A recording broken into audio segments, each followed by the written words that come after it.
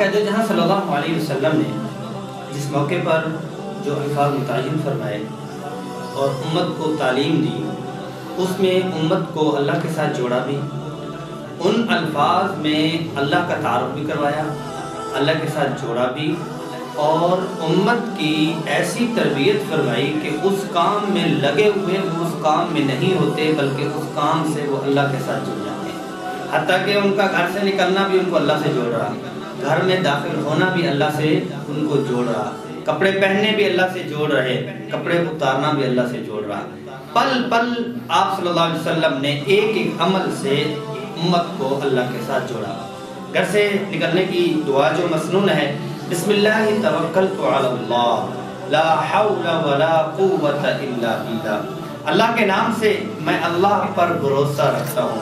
مجھے گناہوں سے بچنے کی طاقت نہیں۔ اور نیکی کرنے کی کوئی قوت نہیں۔ مگر جو اللہ توفیق دے دیں، تو میں نیکی کر لوں۔ اللہ توفیق دے دیں، تو میں گناہوں سے بچ جاؤں۔ یہ مفہوم ہے ترجمے کا۔ حدیث شریف میں آتا ہے، آپ صلی اللہ علیہ وسلم نے فرمایا، جو کوئی شخص یہ والی دعا پڑھ لیتا ہے، تو کیا ہوتا ہے کہ ایک فرشتہ اللہ کی طرف سے اس کو اعلان سنا دیتا ہے۔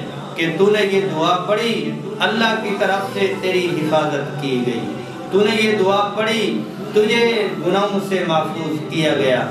تو نے یہ دعا پڑھی، تیرے لیے نیکیوں کے راستے کھول دیے گئے۔ اب اس میں کیا ہے کہ جب بندہ نکلتا ہے، تو وہ کیا ہوتا ہے؟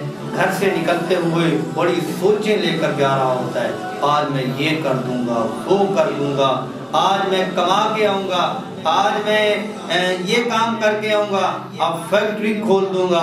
اب یہ ہے کہ میں آج جاب کر کے آؤں گا، اب آج میں بات کر کے آؤں گا۔ مطلب یہ ہے کہ ہر بندہ جب گھر سے نکلتا ہے، اس کی ایک سوچ ہوتی ہے، آج میں اس طرح سے، اس طرح سے کام کر کے آؤں گا، یہاں سوچ تبدیل کی جا رہی ہے۔